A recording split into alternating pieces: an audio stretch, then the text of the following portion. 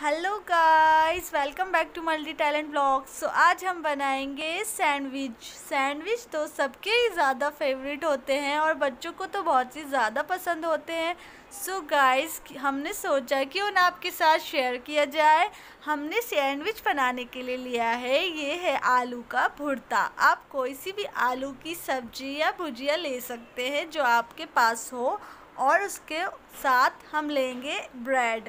Bread पर हम बहुत सारे, जितने भी हमें सैंडविच बनाने हैं, हम सारे सैंडविच को अच्छी तरीके से रेडी कर लेंगे। पहले उसको ब्रेड के ऊपर अच्छी तरीके से लगा लेंगे। उसके बाद हम लेंगे एक पैन। पैन लेकर हम उसको मीडियम फ्लेम पर रख देंगे और मीडियम फ्लेम पर रखने के बाद हम उसके ऊपर लगाएँगे ऑयल। आप लोग बटर भी ले सकते हैं। हमने यहाँ पर ऑयल लिया है। उसके बाद हमारे जो सैंडविचेस हैं, हम उसके ऊपर उसको सेकने के लिए मीडियम फ्लेम पर रख देंगे।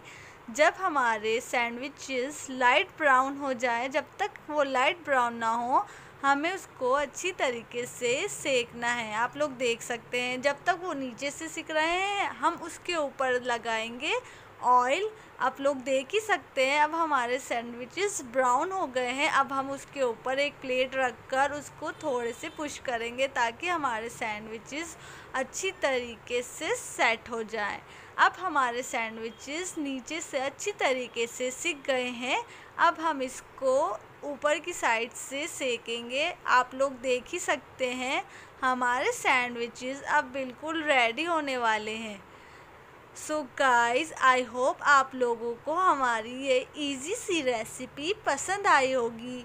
सो so, अब हमारे सैंडविच बिल्कुल रेडी हैं। आई होप गाइस आपको ये रेसिपी पसंद आई हो और आप भी इसको ट्राई कीजिए और हमारे चैनल को ज़रूर सब्सक्राइब कीजिए और अपने फ्रेंड्स के साथ प्लीज़ शेयर कीजिए गाइस बाय बाय गाइस.